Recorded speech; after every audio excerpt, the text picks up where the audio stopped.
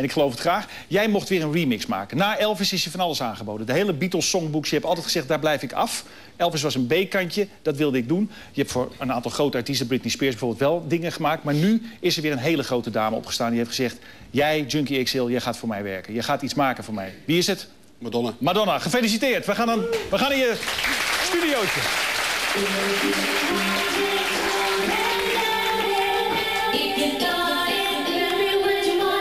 Dat is natuurlijk een ontzettende grote opdracht. Madonna vraagt aan Junkie XL, ik heb een single, wil jij de remix doen? Ja. Heb je er ontmoet al? Nee, maar dat gaat wel komen, hoop ik. Dat hoop ik ook.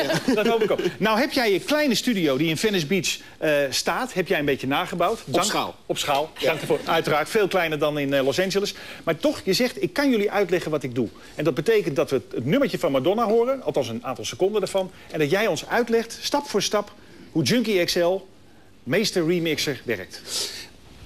Punt 1. Het, eh, het originele liedje is een popliedje. Het is vrij glad. Eh, het is geproduceerd door Timbaland. Hoe heet het? Eh, Four Minutes. Justin Timberlake zingt ook mee. Het is een soort van duet. Dus Madonna wijkt een beetje af van de, van de koers die ze de afgelopen zes jaar had. Dat ze toch een beetje cutting edge was en elektronisch. Ik weet niet precies wat het Nederlandse woord daarvoor is. Dus vandaar even wat Engels. Ehm, en ik wilde daar zeg maar een, een stevig randje aan geven. Dus nou, ik pak nu even de, Laat het eerst nog eens horen. de, de basgitaar. Die staat al aan. Ik denk van, Ja. laten we maar eens even wat eh, vervorming erop Oké, gooien. zullen we eerst nog even horen kaal, zonder dat jij ja, iets we, we gedaan horen een stukje zang.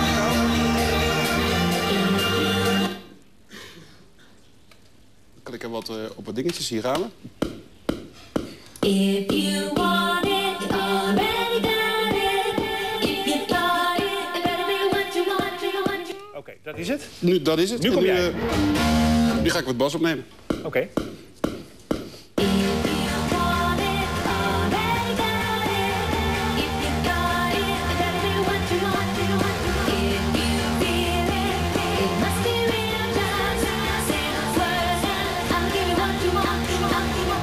Oké, dat staat erop. Oké, de bas staat erop. Dus Ja. die, die, eh, die horen we nu.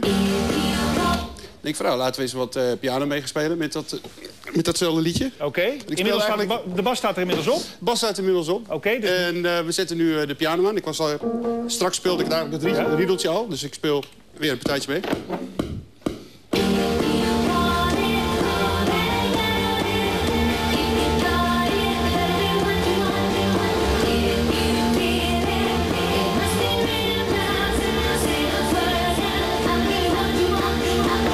Oké, staat, er er ook op? ben, je- ben tevreden? Ja, voor nu wel. Ik heb natuurlijk stiekem geoefend, hè? Nou, nu pakken we een gitaar. Oké. Die staat eh, inmiddels ook al klaar.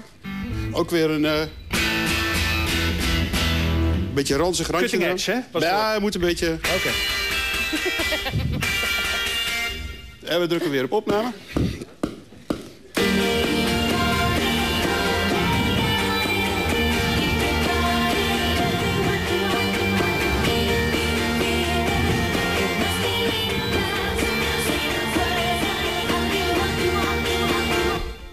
Halina, Ja, klaar? Dit is toch fantastisch? Kijk je in de keuken. kijk, je- echt een kijkje in de keuken. Dank je wel daarvoor. We begonnen kaal. We begonnen kaal en nu laat ik even een stukje horen van hoe het, eh, hoe het uiteindelijk eh, geworden is.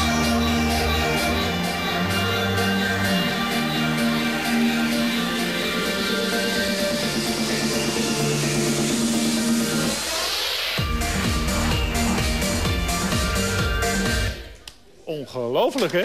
Ja.